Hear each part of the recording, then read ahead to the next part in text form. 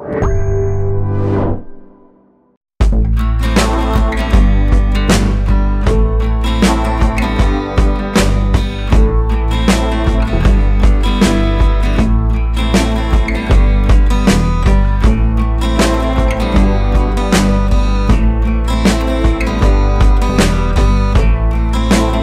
मैं गौरी शंकर दुबे, यहाँ Global Web TV, Prabhat Kiran और नेशनल हेराल्ड टीवी के लिए इंदौर के सबसे पुराने नेहरू पार्क में बैठा हुआ हूँ। जो सज्जन मेरे साथ हैं वे हैं सुनील सोनी जो कि चेस मास्टर हैं कोच हैं और इन्हें नेशनल ऑर्बिट ऑर्बिटर का पद भी हासिल है।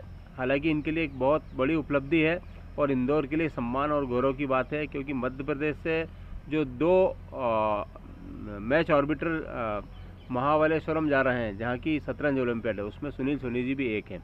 आदरणीय ये बताइए कि आपको यह अवसर कैसे मिला? धन्यवाद। ये अवसर मुझे इस तरह मिला कि अभी तक मैंने ऑफिशियली सन 2012 से, अभी तक मैंने ऑफिशियली कम से कम 25 से 30 बड़े बड़े इंटरनेशनल टूर्नामेंट्स में ऑर्बिटरशिप की है और सफलतापूर्वक काम किया कई में मैं चीफ ऑर्बिटर भी रहा हूँ।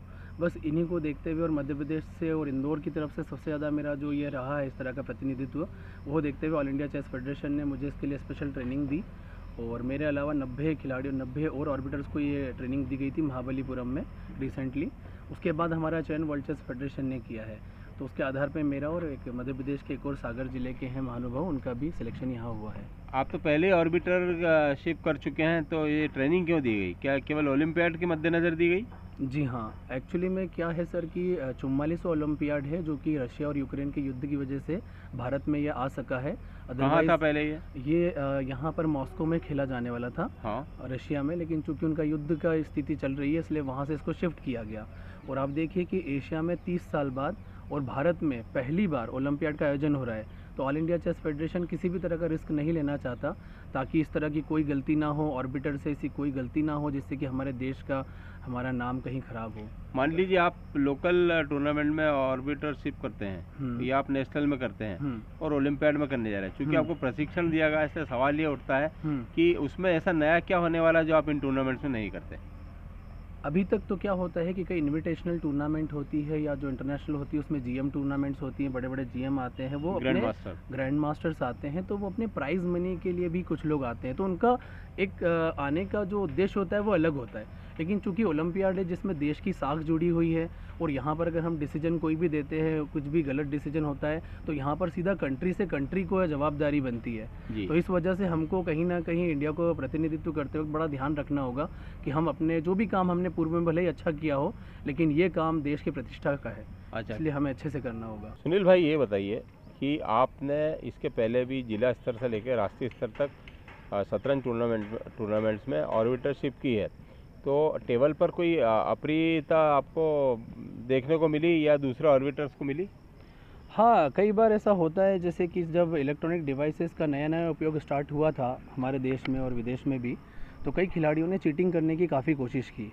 जैसे कि डिवाइसेस लगाना, कान में एक चीप लगा लेना, पैरों के जूते में एक हमारे जो बेंगलोर का एक बच्चा था, उसने भी ऐसी हरकत की थी कि उसने पैरों के जूते में कोई डिवाइस फिट किया था और कैमरा भी यूज़ करते थे, जैसे स्पेक्स में कैमरा लगाना तो ऐसी कई अप्रिय घटनाएँ हुई हैं बोर्ड के ऊपर कि जब खिलाड़ियों ने कम समय में ज़्यादा सफलता हासिल करने के लिए इस तरह की हरकतें की हैं पर ऑर्बिटर ने चूँकि जब उनका प्रदर्शन देखा कि वो एक इस लेवल के खिलाड़ी नहीं है जो कि इतने बड़े बड़े लेवल्स के खिलाड़ियों को बीट कर पा रहे हैं तो उनको वॉच किया गया और वॉच करने के बाद उनको दूसरे से तीसरे टूर्नामेंट में पकड़ा गया। अच्छा क्या दंड दिया जाता है ऐसे खिलाड़ियों को? अ, सर उनको बैन कर दिया जाता है ऐसे खिलाड़ियों को ताकि जो आने कितने वाले साल के लिए?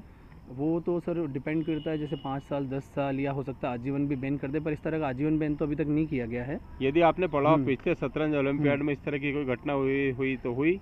सर इस तरह की कोई घटना ओलंपियाड जैसे लेवल पर तो कोई नहीं करता है क्योंकि वहाँ कंट्री की भी बात आ जाती है इंडिविजुअल फिर आपकी क्या भूमिका रह जाएगी यदि इस तरह हमारी भूमिका सर जैसे एक ऑर्बिटर का काम होता है कि कभी भी कोई विवाद होता है जो बोर्ड के ऊपर होता है जैसे ड्रॉ की स्थिति बनती है या कोई मोहरे के ऊपर उनका हाथ टच हुआ नहीं हुआ या कोई ऐसी जो उन्होंने राइटिंग में लिखा हुआ है उसके उद्देश्य से उनको बताना है कि ये गेम कितनी चालों के बाद उनका ड्रॉ हो सकता है नहीं हो सकता है ये सारी चीज़ें जैसे दो खिलाड़ियों के बीच में कोई भी डिस्प्यूट होता है तो वो एक आर्बिटर को एक चेस का नॉलेज होना चाहिए ताकि वो उसको क्लियर कर सके हाँ, आप जवाब थोड़े छोटे कर दें आप ये बताइए कि धरती पर कोई भी काम पैसों के लिए हो रहा है फ़ायदे के हम्म। लिए हो रहा है सब पेशेवर हो गया है तो हम्म। आपको क्या फ़ीस मिलेगी वहाँ पर इस काम की अ, सर अभी तक तो मैंने ऑल इंडिया चेस फेडरेशन से इसके बारे में नहीं पूछा है क्या ऑल इंडिया चेस फेडरेशन आपको हवाई टिकट दे रहा है या ट्रेन का दे रहा है? अ, वो थर्ड एसी का हमको फेयर दे रहे हैं। हाँ। उन्होंने पहले भी दिया है जो हमें ट्रेनिंग के लिए गए थे और थर्ड एसी का आना जाना वो हमें देंगे। अच्छा। चूँकि ये एक लाइफ टाइम अपॉर्चुनिटी है तो इसके बारे में भी सोच नहीं रहा हूँ फ़ीस के बारे में।